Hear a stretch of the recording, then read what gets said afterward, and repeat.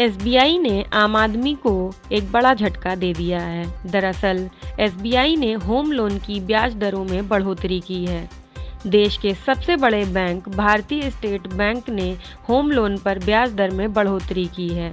इससे संकेत मिलता है कि होम लोन पर ब्याज दर चक्र अब बढ़ सकता है। SBI ने होम लोन पर न्यूनतम ब्याज दर में 25 बेसिस पॉइंट या शून्य दशमलव पच्चीस फ़ीसदी की बढ़ोतरी की है।